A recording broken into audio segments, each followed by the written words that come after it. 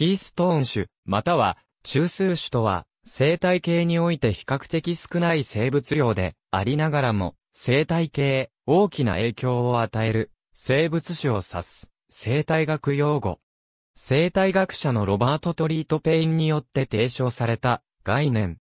生態系へ大きな影響を与える生物種であっても、生物量が多い優占種は、キーストーン種とはみなされない。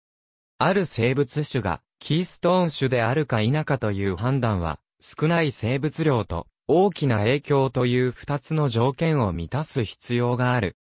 具体的には、生物が、生物群衆に与える影響である、群衆重要度と、その生物の生物量が、群衆全体に占める割合を算出し、戦術の2条件を満たすかどうか確認することが提示されている。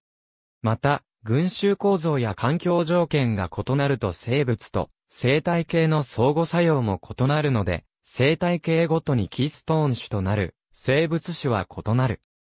キーストーン種は捕食行動を通して生態系に影響を与えることが多く、このようなキーストーン種をキーストーン捕食者と呼び、その捕食をキーストーン捕食と呼ぶ。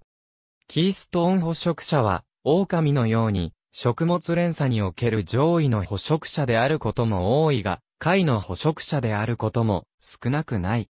手をつないで眠る、ラッコ捕食以外の行動を通して、生態系に影響を与えるキーストーン種もある。